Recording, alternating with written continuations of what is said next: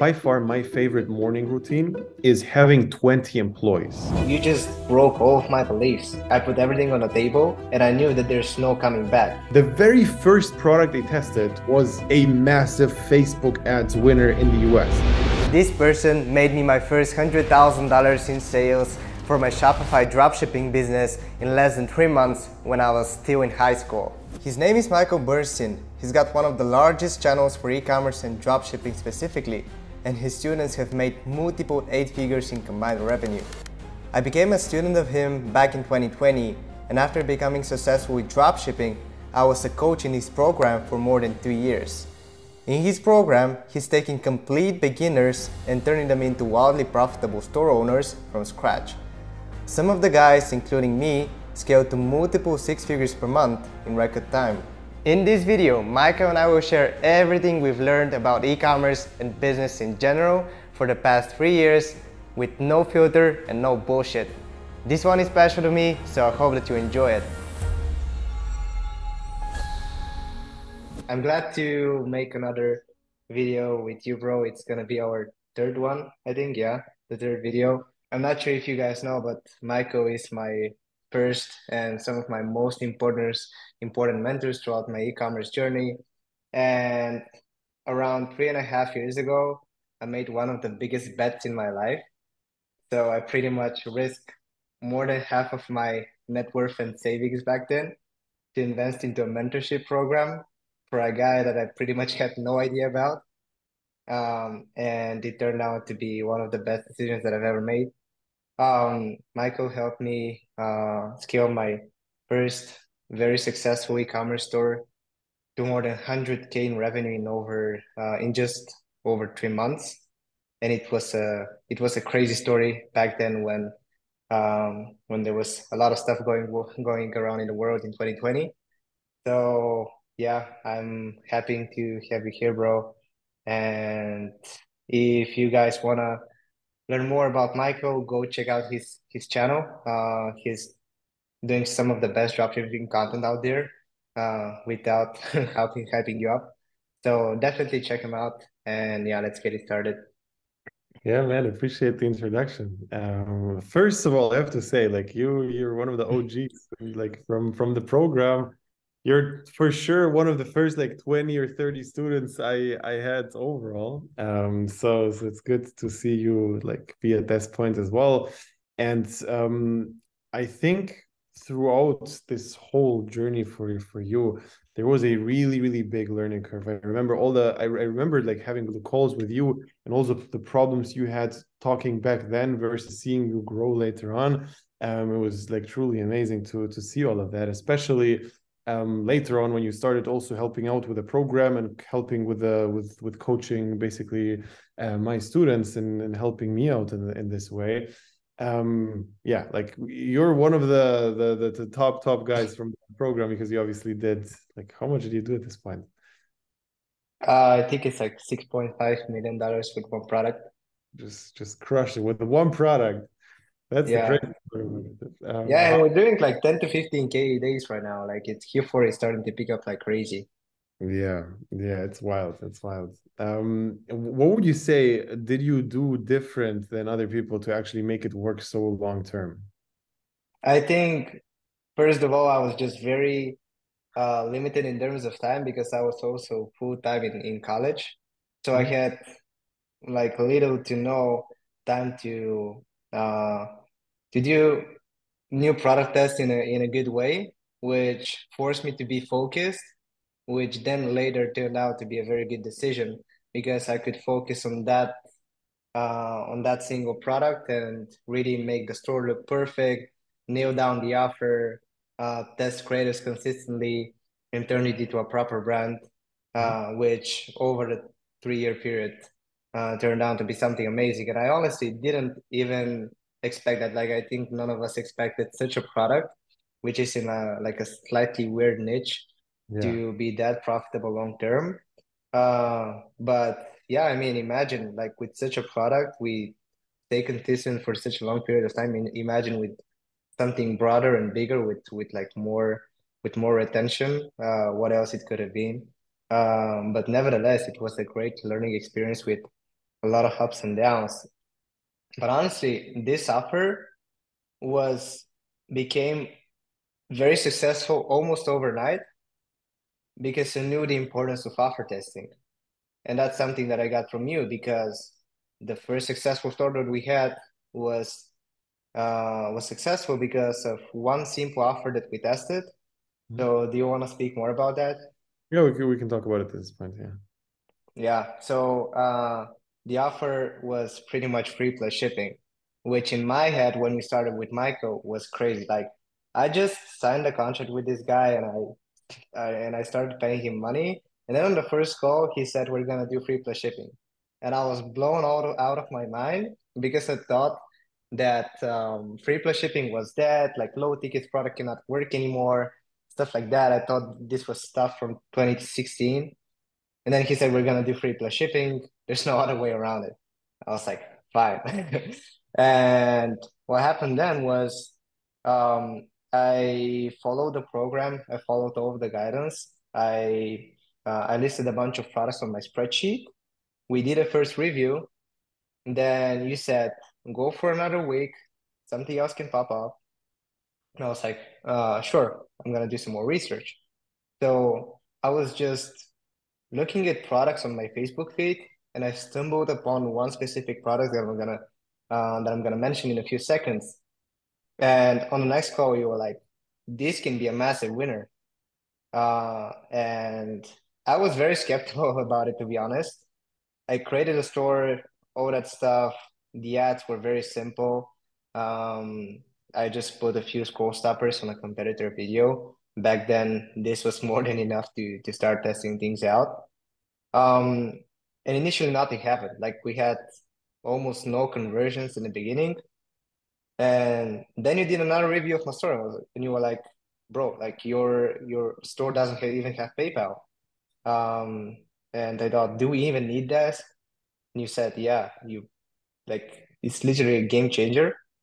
So I added PayPal to the store, and our store conversion rate went from two percent to like I think seven eight percent overnight.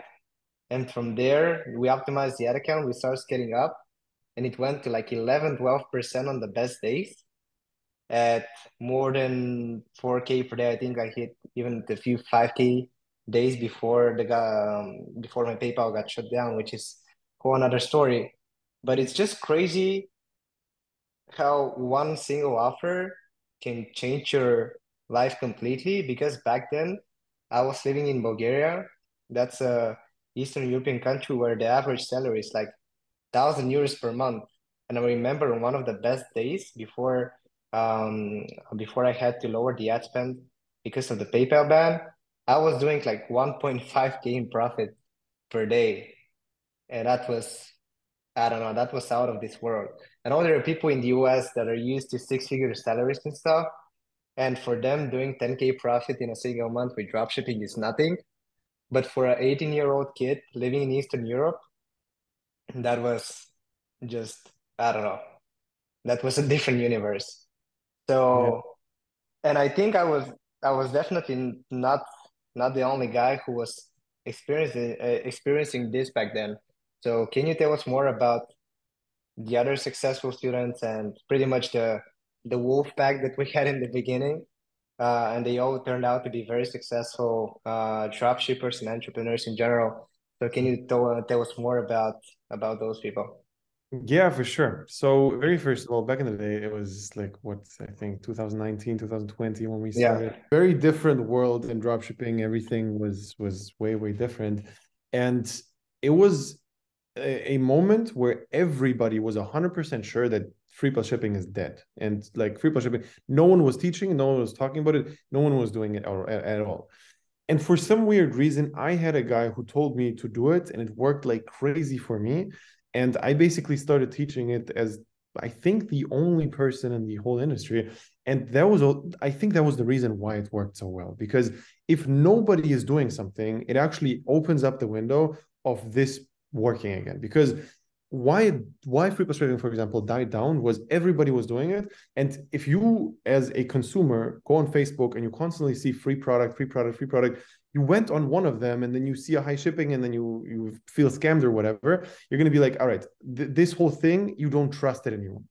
However because nobody is doing like, because everybody stopped doing it, it it changed up the entire thing and because we were a small group of people who did only that it just crushed and I remember how the success rates of like students testing the first, very, very first product and making it work was like 50% of something. Like 50%, think about this 50% of people who joined, the very first product they tested was a massive Facebook ads winner in the US, which is unheard of. Like n- nothing like that existed.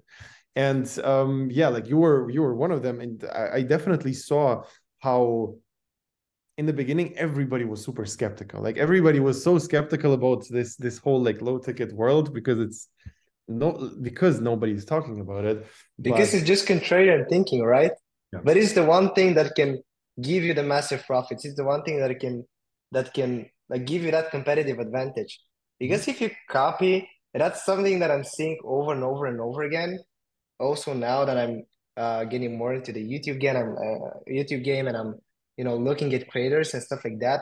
The most controversial people like Alex Hormozi, Andrew Tate, all those people, they in their content in the way that they behave and behave behave behave anyways in the way that they behave is just completely different to anybody else like you have all those business people talking about uh, business stuff on YouTube wearing suits and stuff like that. And you, then you have Alex Hormozi wearing just a hat and a tank top, doing mm-hmm. like 10 times more than all of those people combined and telling you completely opposite things. And you're like, wait, I gotta listen to that guy. And it's the same thing in the marketplace whenever you're selling a product or or a service or whatever it is, the person that is the most differentiated and does things differently and is kind of ahead of the crowd gets the most of the pie, right? I've seen one really interesting thing, especially with personal branding, and it's like it's literally a hack to personal brand, which is the parasite strategy. You basically take a common belief, some like people like I specifically did this with branding in dropshipping. Like in this dropshipping world, everybody says you have to brand your store, your store is super important, whatever.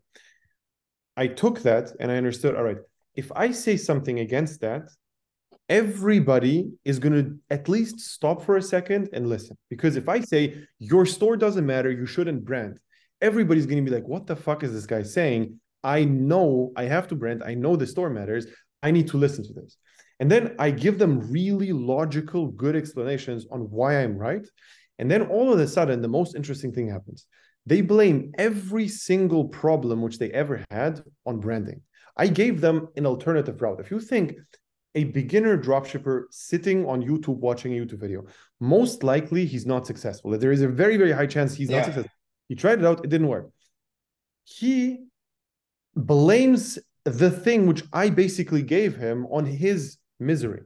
And this is a like it's a game changer where you basically just convince him of that being the reason. I never said that that's the reason for him specifically, yeah. but automatically he's going to blame that as ah, that's what I did wrong. I get it now. I focused too much on my store. I did branding. That's why it didn't work. And all of a sudden, he starts hearing other people on YouTube saying talking about branding, and he feels like they are scammers. He feels like he's in on it, but everybody else is like scamming and lying and whatever. And you create this this this kind of kind of um, like space where everybody all of a sudden changed their belief. Whenever you change your, whenever you change somebody's belief, they start trusting you way more every single time. And um, obviously, within the program, it was the same thing. If, if I tell you free shipping works, and you're like, "What the fuck are you talking, saying?" and then it actually does work, instantly you're going to be like, every single person out there who says low ticket doesn't work, you're going to be like, he has no clue what he's talking about. You know? Yeah. So, yeah. Yeah, I don't, I don't know if you caught that, but like the last minute out there was just marketing genius. Uh, in like, and you can apply this thing to to everything. And yeah. I remember back then, like you just broke all of my beliefs. Mm-hmm. Like I put everything, um, I put everything on the table, and I knew that there's no coming back. And yeah. then when you said that we're gonna test a strategy that I thought was impossible to pull off in 2020, um, I was like, damn, this guy gotta be right. or I'm out of the game. Mm-hmm. And you prove to be right. Yeah. So you can apply this like it's a mental framework. Like it's not a thing that you you can just apply to personal branding. It's also something that you, you can apply to your personal life as well. Like think about all this, mm, um, I don't know, not bullshit advice, but things like making your bed, things like you have to do this 10 step morning routine in order to be successful. Like, sure, if you're uh, well, uh, if you have a good hygiene, if you take care of yourself, of course, it's gonna increase if, increase your chances of being successful, you having a clear mind and stuff like that. But it's not the main thing that that pushes people to that, right? Like, what's your take on that?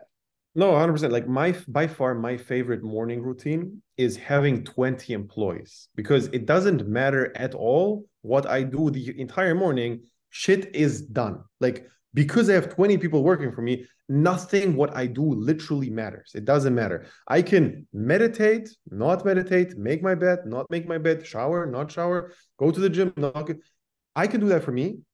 It's not connected to my money. Last month, I was literally stuck in Israel during war and had a bunch of family issues was stuck with like I was I was only with them working maybe in the entire month max. I worked 10 hours in the entire month and I made more last month than in my entire life. Like that was my best month ever.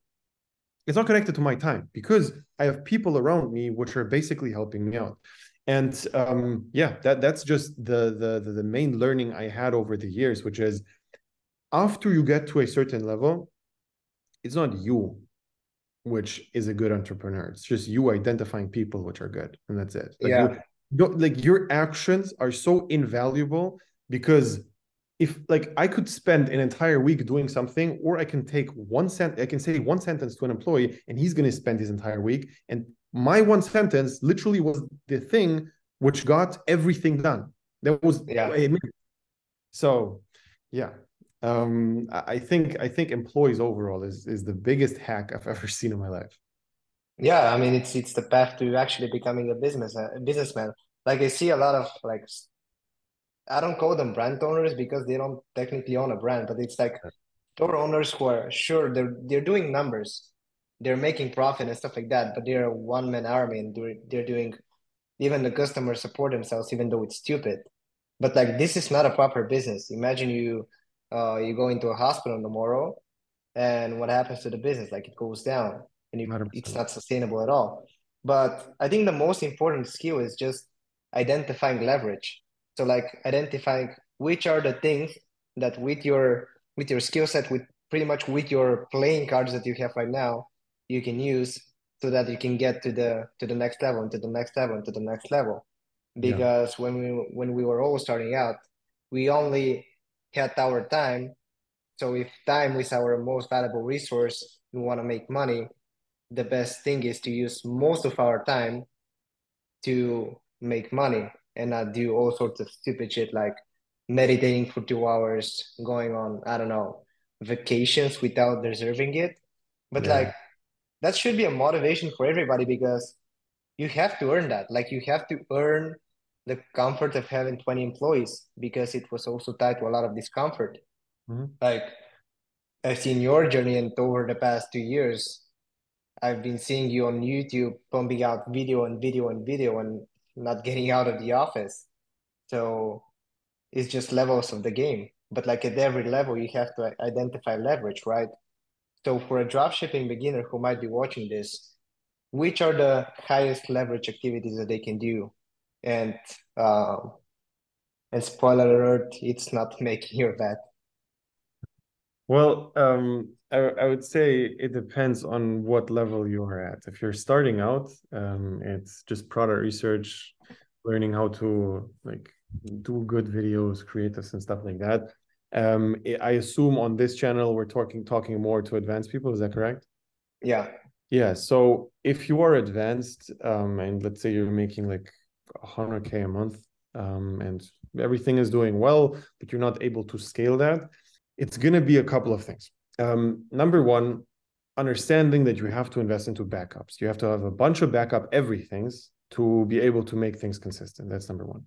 Number two is like, and by the way, back, backups to me mean either you have one product which is just like everything about it is perfect or you have multiple products. You are like one of the special cases where you actually pulled it off where where you made one product work consistently for the last years without a backup product. Normally i would yeah. recommend obviously um you you crushed it with this one so so so i cannot say anything against that. But um yeah like overall i would say if you want to go the safe route i would I recommend having multiple like not have all eggs in one basket. That's number one.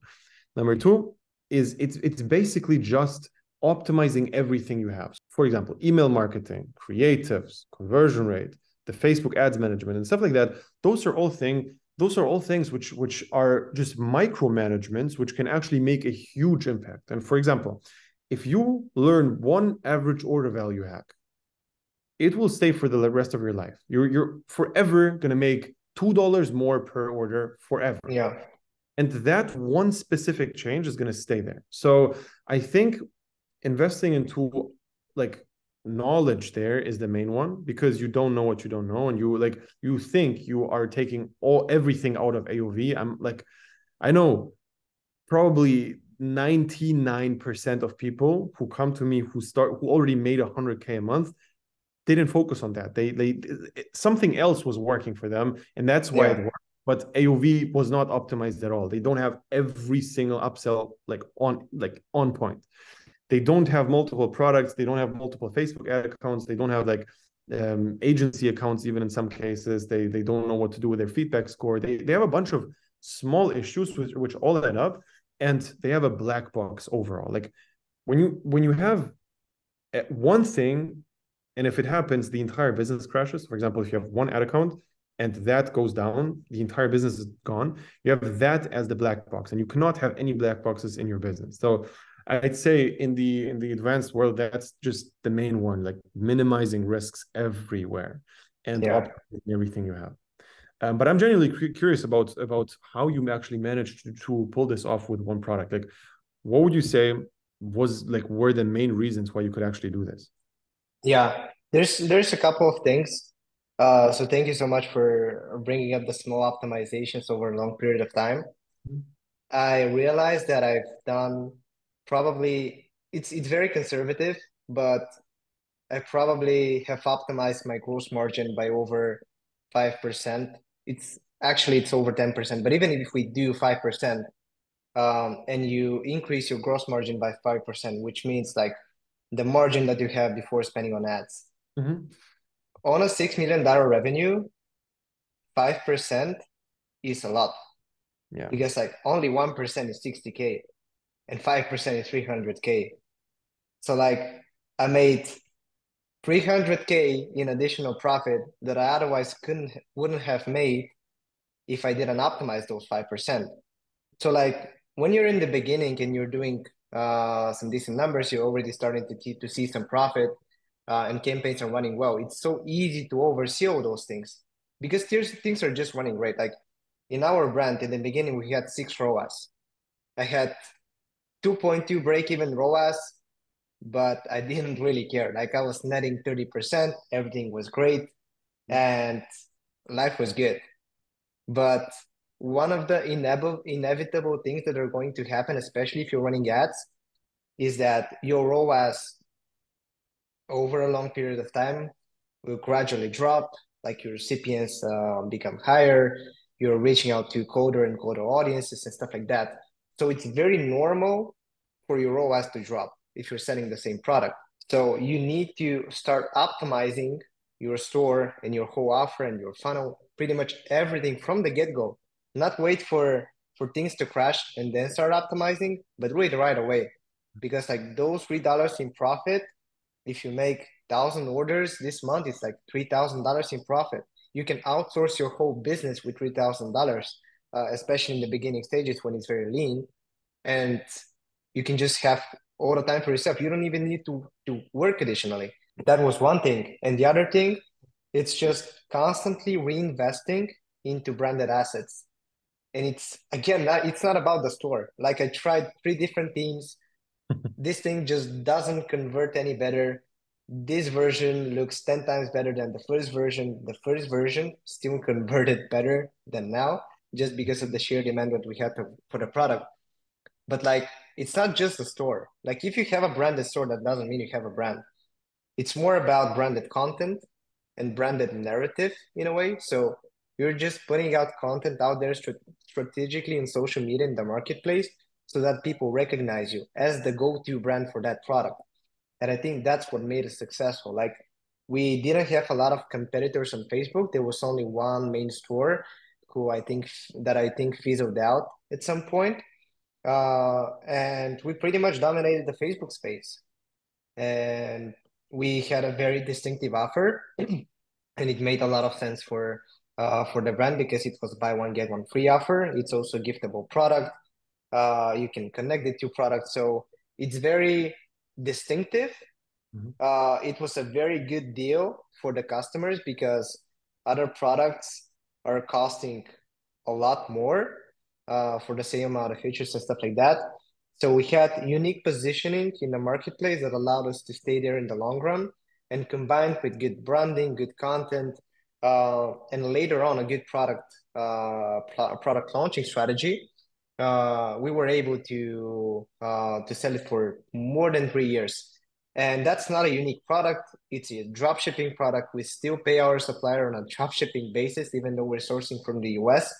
Mm-hmm. So if I was able to do that in a very competitive industry with a seasonal product, with one main traffic channel and only one product, I think uh, people who have higher chances in a better industry and a better marketplace don't have any excuse to not get at least seven figures per year. Um, and to answer your question, like I think it was a little bit of a dumb mistake trying to force only one specific SKU and a, one specific product to work because we could have made so much money just doing more upsells and when you say backups, I see it more as backups within the niche if we're talking about that particular business. But like if you're selling one main version of the product, it's very dumb. And I'm realizing that as we speak, that it's very dumb to bet that this product is going to work forever. And we've had definitely had some problems with margin, especially during low seasons, where we were trying to force this product to work, but it was just not working that well. And then we did a product launch with a 2.0 version, pretty much a new improved version of the product, and it crushed it. And it crushed it for a year and a half now.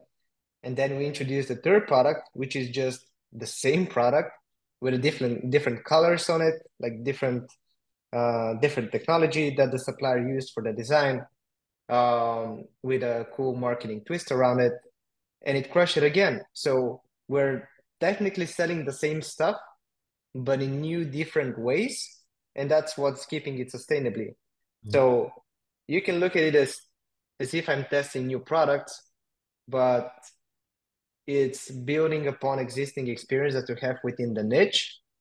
And if you choose the path to to make a proper brand, I think it's definitely worth just diving very deep in the needs of the marketplace and like, really being very scientific about your customer and really obsessing about it so that you know what they're gonna like next because it's like it's like marriage like it's it's like ma- marrying your ideal customer so that you can serve them over the long run and deliver them better and better and better products so what's your take on that well, yeah, first of all, I want to touch on a couple of things you said here. Um, number one is the thing which you said with optimization. Um, people don't realize that optimizing small things is pure profit. It's not it's not adding on the revenue, it's adding on the profit. When you said you optimize the 5% from the from the gross margin, that's profit. If you get $2 extra on AOV, eh, normally it's going to be like 20 cents on on on product cost extra and almost everything is profit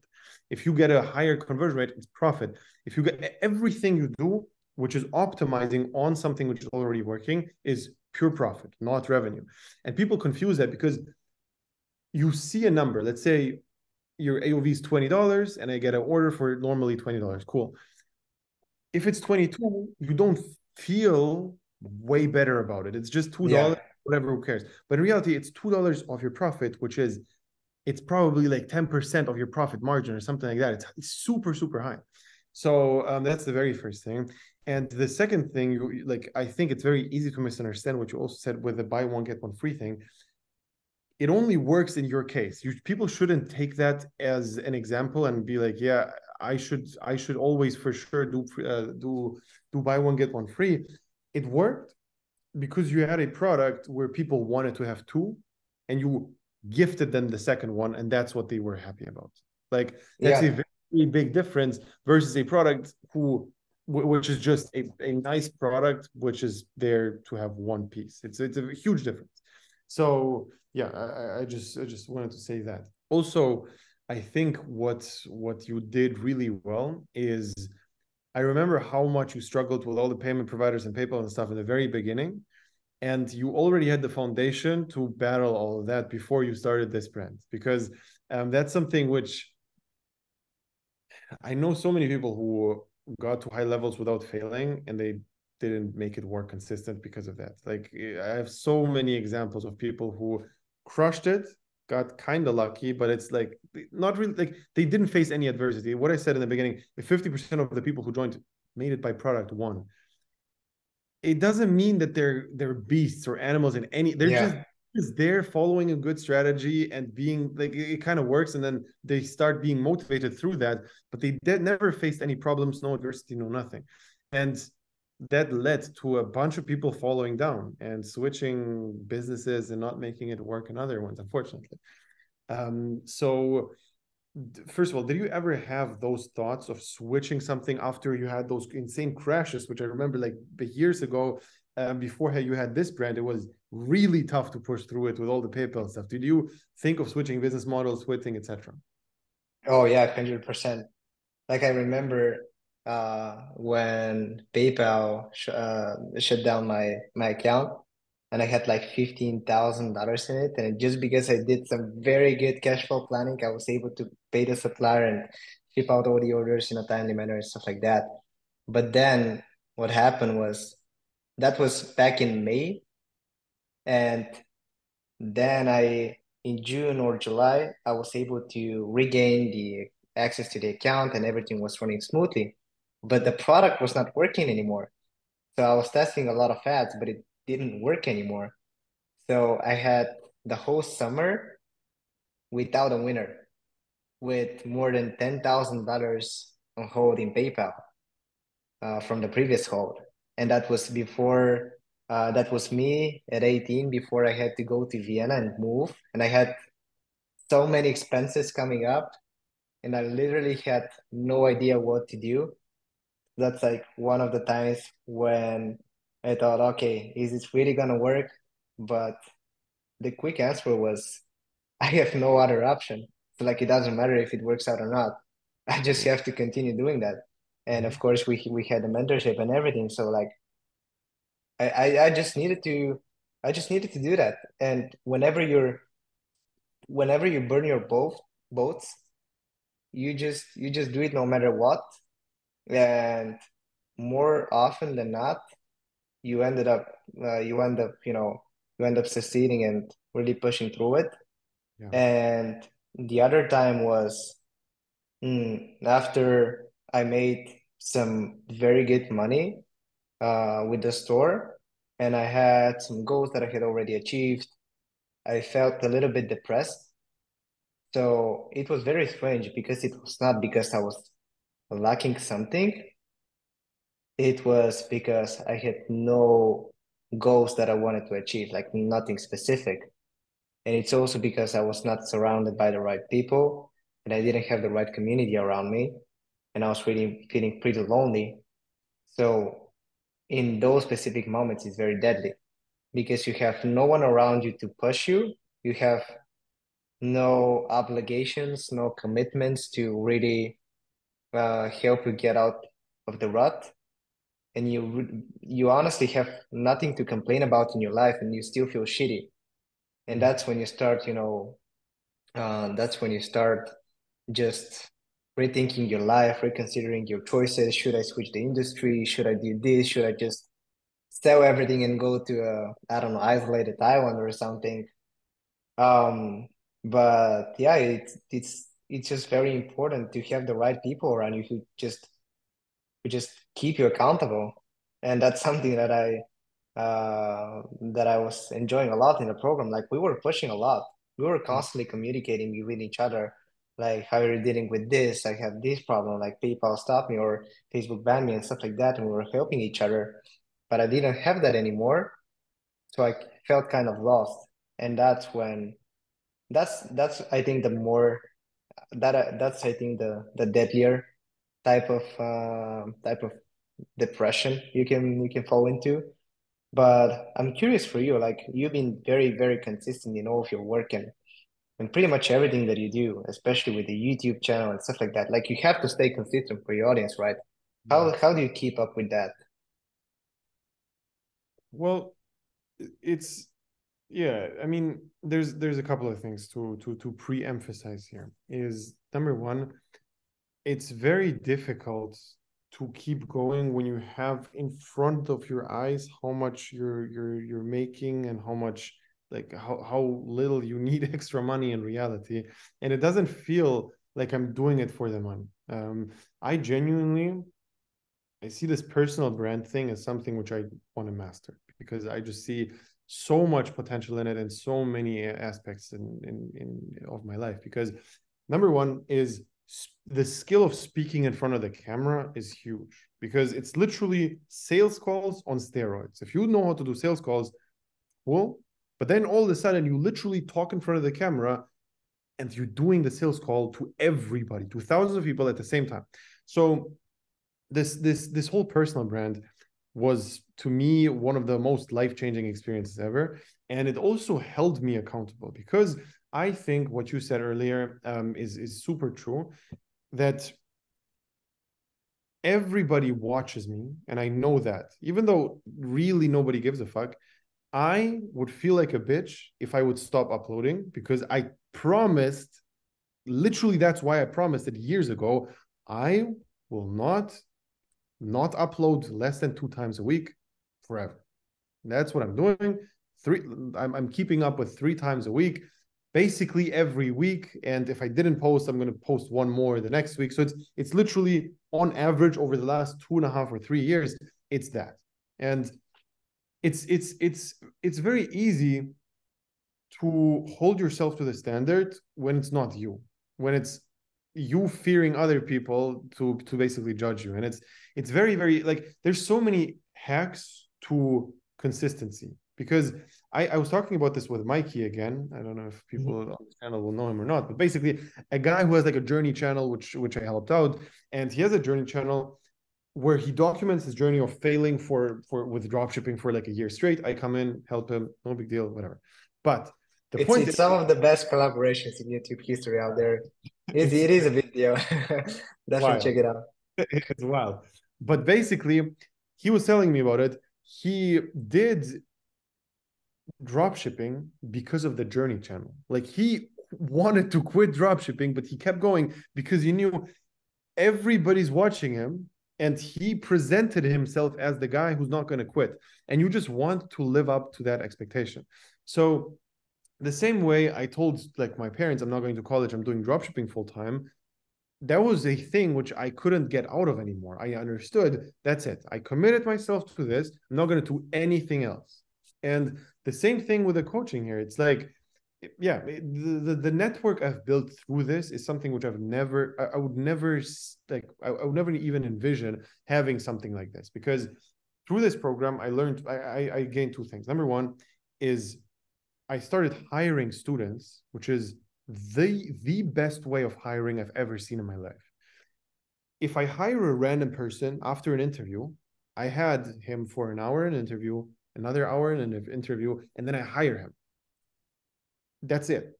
If I, I if I if I hire a student, I have been working with him for a month. I know him. I know how he like he's asking me about his job.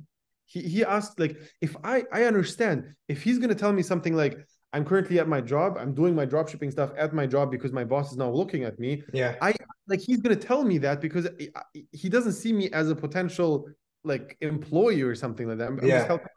So everybody's super honest, and it's just it- it's literally a cheat because it's hundreds and hundreds of students which I had. I just picked the best ones. Like those are They're the ones vetted, right? exactly exactly those crystallized like themselves out of hundreds of people and um yeah like building a, a network like that was just invaluable and i just know i have a bunch of people who are thankful to me who i can reach out whenever i want to like i, I understand if i need any help from most of my students they're going to help me out. And that's that's just something which is almost impossible to reach with a business which is not like a, a, a coaching or service based thing where you talk to real people. And that's why what i enjoy about it so much. Um, so yeah like the whole the whole thing with staying productive it's it's it's genuinely like me doing youtube videos at this point i can tell you the process. The process is this i get 10 scripts read like I, I i i get 10 scripts ready which are not written by me.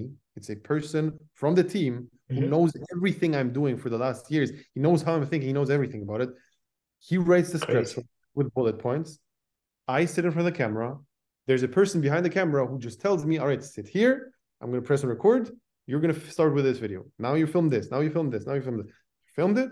I stand up I forget about it. And all of a sudden, magically, they appear perfectly edited on my channel, are posted, and everything is done. And it's not like, am I disciplined for that? Not really. It's just it's it's it's just a setup I have, which allows me to film three days a month, and that's it. Like it's it's nothing.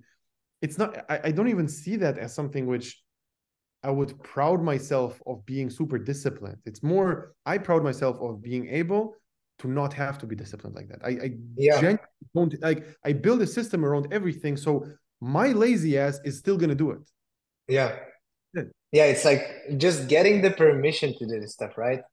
It's like building the blocks and putting them in the right way so that you can have a house that you can go in and lay on the bed and like not even have to do anything, right? Yeah, hundred percent. It's the same thing. Like my girlfriend was complaining about that I'm like throwing my clothes around on the on the floor, and I I told her, listen, put a basket in next to the bed where there all the, the dirty laundry is going to be. I will never ever in my life throw anything on the floor because there's literally a basket next to the bed. That's it. Since then, I've never put anything on the floor. And it's very, it's just a system. I don't have to be disciplined anymore. I can do every, like, nothing has changed except for this small tweak, which is the exact same everywhere. If you want to go consistently to the gym, just meet up with your friend and go with him. It's so it's so much easier if you say if you if you have two friends and you say, all right, every Tuesday at 7 p.m. we're meeting up at the gym. You're not gonna miss that because especially if it's one person, he's gonna wait for you and stuff like that. You already committed to that time. It's very easy to go to the gym now. If you pay for a personal, that's why personal trainers work. It's just accountability. So Yeah, and I yeah, if you just need to understand that part. yeah, and I think it's on steroids when you pay for that person. Like when you pay for a coach and when you know it's a it's a one-on-one thing and and I think it's you're even more committed to just showing up and making it work. Yeah, Yeah. I, I literally had like I I was starting to play chess a little bit, hired a coach which is going to help me with chess. I started while I had the lessons with him. In between the lessons, I had them like only once a week. I played an insane amount of chess. I stopped working with a coach, and I just stopped playing by myself. Not like just because we had some logistical issue where we didn't schedule meetings anymore. Yeah. and that, that was it.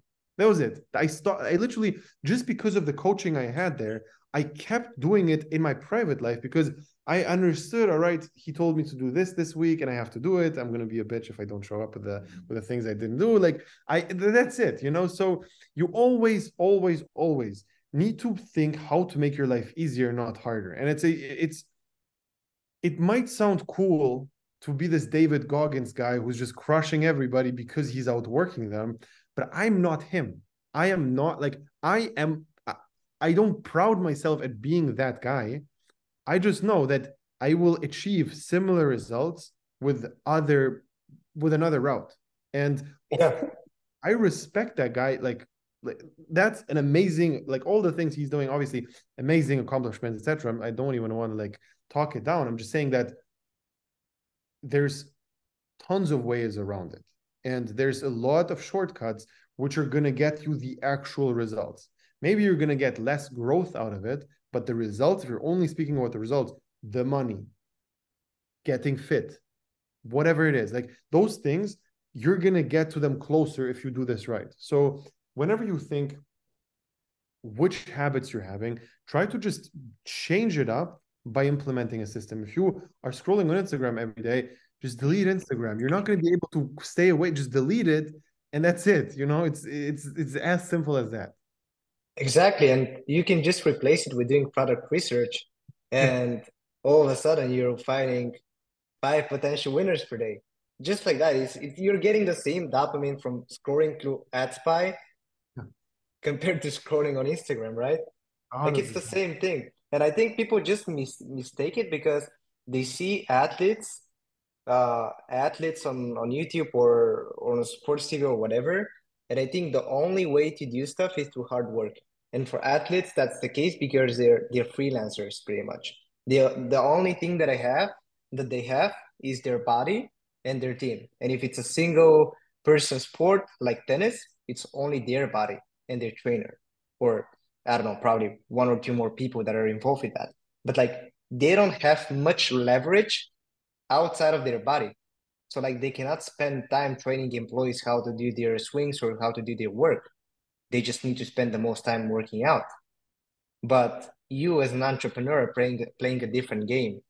So you taking rest to think about stuff, thinking about how to optimize processes, thinking how to test a different offer, thinking how to, I don't know, make a new creative for a uh, for a new angle that could be your blue ocean angle I don't know, but those things are much more productive in the long run and it will give you much more peace of mind and money compared to just blasting through tasks, doing stuff because you love working hard and just trying to feel productive. But it really depends how you define productivity. Because for an athlete, the only way to be productive is to just train the most and recover the best. And athletes also said that recovery is the most important thing, which is kind of controversial. But you as an entrepreneur have a lot more leverage. You can leverage your money, you can leverage other people's time, you can leverage platforms, you can leverage a lot of things. Yeah. It's just that you have to recognize the game that you're playing and the things that you're optimizing for. Because if I want to be the the most jacked ass person and have the, the best body, like I have the genetics to do that, but I don't have the time to do that.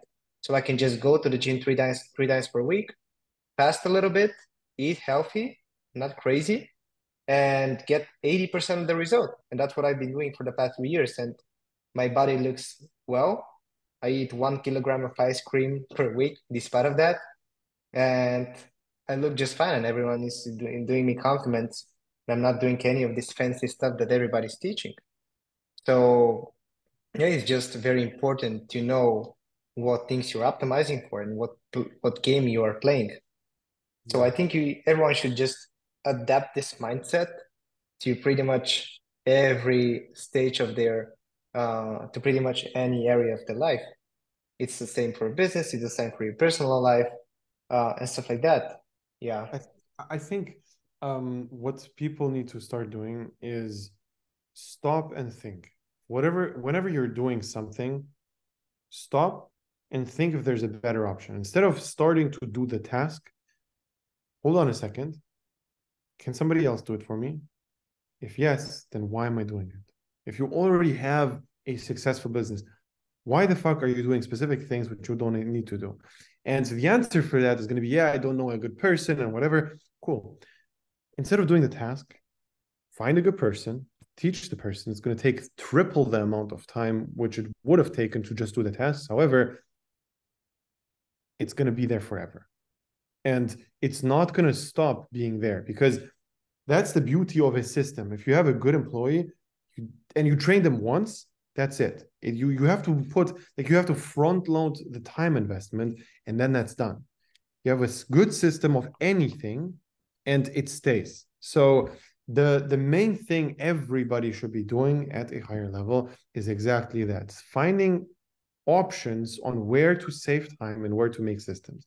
And a very common question which i've i've been hearing tons of times is yeah but what do i what do i do then with my time? I like i i heard this mikey like mikey was saying that mikey again.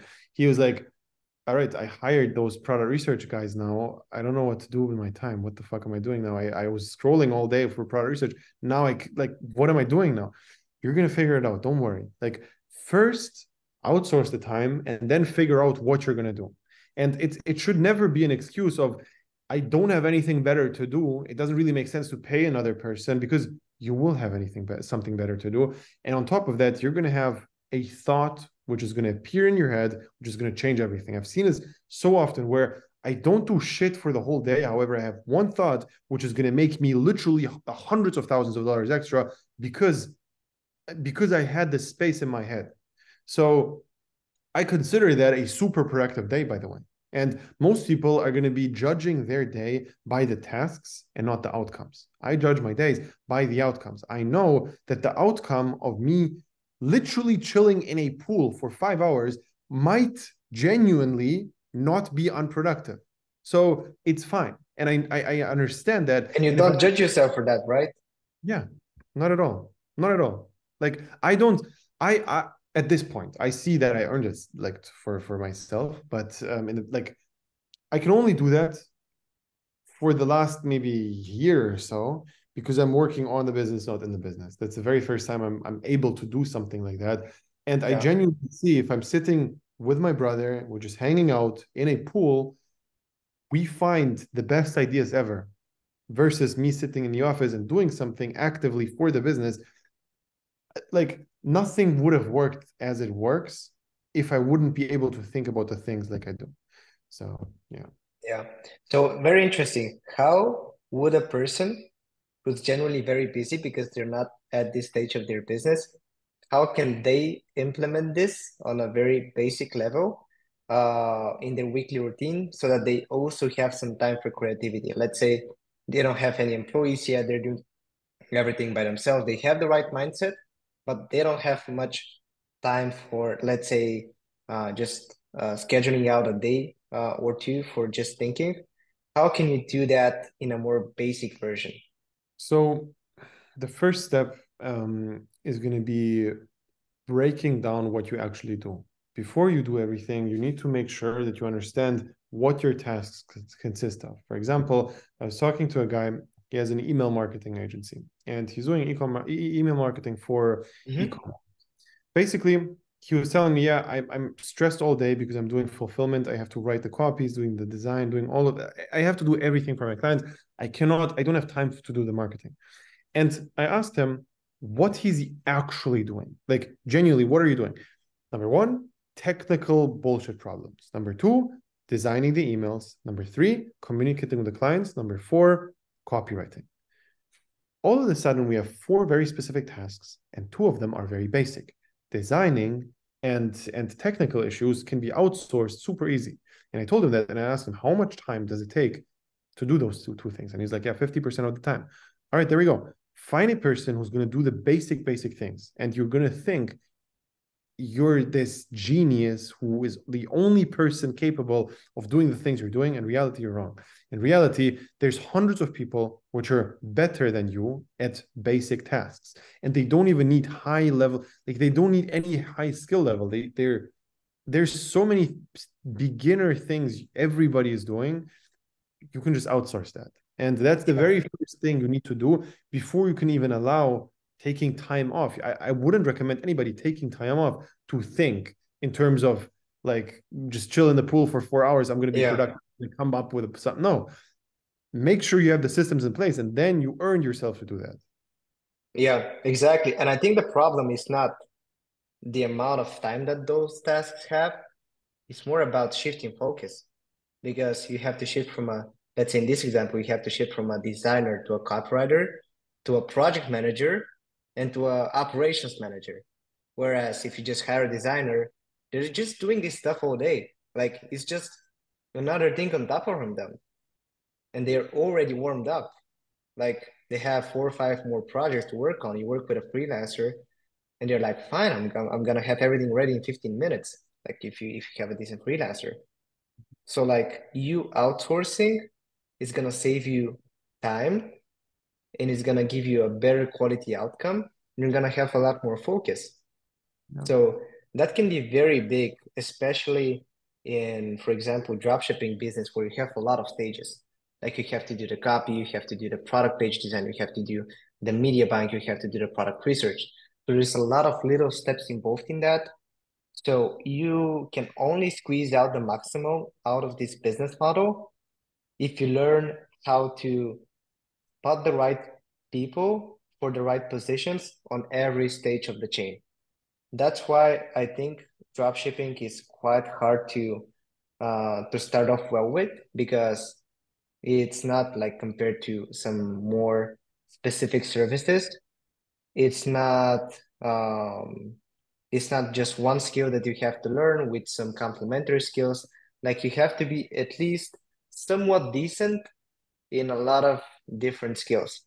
You have to be decent in video editing, you have to be decent in market research, you have to be decent in copywriting and in web design. And if one thing in if one part of the funnel is very very bad like i'm not saying it has to be perfect but if one thing is very bad it can ruin the whole thing and you won't make a single dollar. So first you need to become at least somewhat good in all of those skills in order to convert profitably. And then you need to find the best people that can pin all those gaps in order to squeeze out the maximum profit. Because let's say you hire um, i don't know uh, the best website designer and also some very cool technical guy to do a lot of research and do some some cool uh, cool reports for you. But then your video editor is just somebody that you're paying ten dollars for a video for, and they they make shitty creatives, and you, then you run those creatives on Facebook and nothing works. Like, of course, it's not gonna work. It's the main constraint of the business. So, yeah, it's always one one issue, like what you said with you just didn't have PayPal installed. Everything was perfect, but you literally just didn't have PayPal installed. It's the same thing here with everything is perfect and just the creative is wrong, just the product is wrong, just the product page is wrong, just something is off, your ad account is bad, whatever. And the main, main problem is not that. The main problem is you don't know what it is. You cannot yeah. identify the issue. And this is the moment where you actually start really understanding the value of outside perspectives where you understand it's not working i have my guess i have no clue if it's correct or not. That's the first thing. And the second thing is if people for example start working with you they will have like they, they will be able to have a person who's going to look over them and they're going to understand all right i'm going in the right direction. It's not going to be the thing where you second out yourself every single time after you do something. If you do something, you don't even know if it's it's it's the correct action, and you might stop doing it even though it was you did everything perfect. Let's say you have a really good Facebook strategy, you test one product, it doesn't work, you quit, and you do TikTok ads. You just quit. You had a perfect strategy. You didn't do it because you second out yourself. However, maybe your Facebook strategy sucks and you should quit. So that's exactly where a mentor comes in and is looking over your shoulder and is going to tell you if you're going in the right or wrong direction. That's like 50% at least of the work of a mentor, just telling you yes, no, just pointing you in the right direction. Because if you have that, you will not quit as well. You will understand, all right, I'm going in the right direction generally. I should keep doing this. And and that's that's what most people do in the beginning. They do trading, affiliate marketing, drop shipping, forex, whatever they all like. They do too many things at the same time, and then within dropshipping, there's also TikTok organic, TikTok ads, Facebook ads, Google SEO, whatever. There's too many different things, and everybody's preaching their thing is the best. So it's impossible to to to detect what's right and wrong. You just need to pick one person and keep working with them until it works, and that's it. Yeah, I mean, it's the only only way that has ever worked for me. Just sticking to one person, saying no to pretty much everything else, sticking with the strategy, and that's it. Like I I would be I would I would say that if back then we were telling what we were doing with our stores and stuff like that to the to the all the gurus that were popular on YouTube and stuff like that, they would laugh at us. Like they would say, "Oh, who's uh, who's do, still doing this stuff? Replay shipping doesn't work." I remember we were doing very specific targeting that, by the way, was converting at like ten plus percent. This stuff wouldn't work. You have to go broad. You have to do this and that. And I was like, hell no! Like, good that we actually didn't listen to those people, and just being laser focused on just making it work with that specific strategy, with that specific person, without mixing things up. For me, was the only way to ever do it successfully. Yeah, yeah, one hundred percent, one hundred percent. Um, I think it's just it's it's just a like it's just a reassurance of going in the right direction, plus actually having real real guidance from the right person. And it's very very important to pick a good person because yeah, like. Uh, I've had so many people come to me after having worked with like five mentors, and it's it's really difficult to identify who's good and who's bad.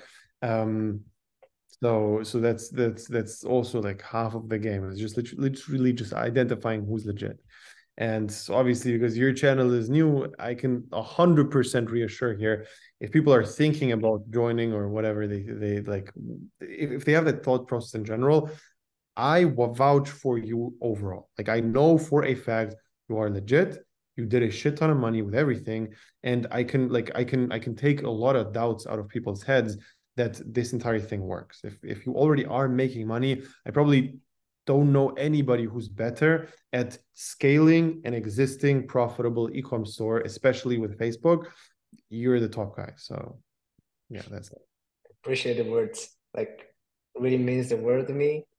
And yeah but it was only possible with like a very good mentor to begin with. I remember back then I was I was just it was the time of just scrolling in groups and seeing screenshots left and right and I saw a random guy who posted their screenshot. And the crazy thing is I was not looking at the guys who were posting 200 300k plus months. I saw the guy who did 50k and I was like, okay, this guy looks like just as young as me, looks legit, he didn't do that great numbers, so it seems kind of doable. So let's let's connect with him, and then he connected me with you, uh, and that's how it all started. So it's so it's just believing in the stuff, and it was actually real because he was a real student, obviously, and then I got a real mentor who really taught me one on one, and that's pretty much the thing that unlocked it for me. So like now three years later, um, what is what is your specialty and what is the thing that you're teaching the most and how can new people get into the e-commerce space and not be burned by uh, by just spending useless money on ads and uh, spending money on mentors that don't work. So what is it for now that is best for beginners? Yeah, so if you're just starting out with dropshipping, I have over the last six years, I've never seen a better strategy than what we're currently teaching, which is TikTok organic. Um, genuinely, there's nothing better I've ever seen in my whole life. If you, if if you just imagine this, imagine this, you have the skill of going viral, which is an actual skill. Most people think it's luck. It's not. You if you go, you you can replicatably learn how to go viral on TikTok.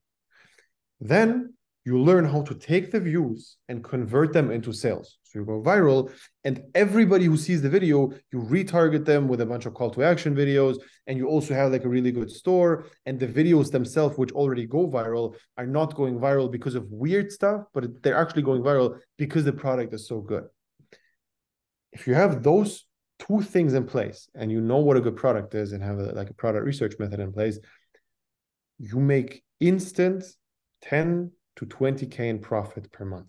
That's it. Like that's a very very realistic number which you can hit right off the bat in a few months which like me saying it sounds unrealistic but it's actually the ve- like it's actually the case.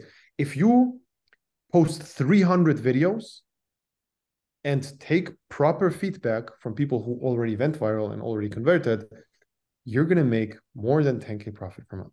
It's as simple as that. So it's it's like it's it's wild to actually even think of this opportunity right now with organic because most people are thinking about dropshipping is dead, whatever. 2017 was the easiest thing. I would genuinely say this comes close to 2017 dropshipping. This is like this is so much easier than everything I've ever seen in my whole life. So yeah, if you guys don't know me and want to check me out, Michael Bernstein uh, on YouTube, and um, yeah, check out the videos there. We have a bunch of like case studies with tons of students. You can just go to that playlist and see for yourself. Yeah, I mean, TikTok organic is just golden. Like I was so skeptical at first that oh, like you go viral once, but then what happens afterwards? Like I didn't see the formula behind it, you know. But now that I'm seeing it with with uh, with Jacob, I'm seeing it with Mikey again, and all those people are like they're they're making very very good profit. And what's more insane is the profit margin. Like they're netting 50%, 60%, sometimes 70% margins with TikTok organic offers, which is something that is unseen in the e-commerce space with paid ads. And mm-hmm. also, I've seen I've been seeing so many good brands that are scaling with TikTok organic. If you know these guys, I think it's Mini Katana or whatever they're called. All their stuff is organic. Tops Chocolate, the same thing, $10 million brand, over 40% net margin. And that's a huge brand with a big amount of overhead. Like it's it's crazy. And the valuations on those companies, I'm sure they're gonna also be crazy. Like there's a lot of um there's a lot of expected return when it comes to paid ads, but they can never be the margin of TikTok organic. And what's crazy is that it's also replicable in other countries. So like you don't even need to be based in the US to do this. You could be in your local country, Germany, I don't know, UK, whatever. Like you can crush it in those markets. And it's gonna be like, I don't know. I'm not even sure. Probably even get viral more easily in those countries. I have no idea, but I've been seeing crazy results from students. It's crazy. It's crazy. But yeah, I mean, definitely check out Michael's uh, Michael's YouTube channel. Uh, it was amazing to reconnect and just spit out some facts on the e-commerce space right now because there's a lot of fake people, agencies, cameras, crews, all that stuff who just spit out bullshit and we want to keep things real and simple. So thank you, Michael, for uh, for for joining this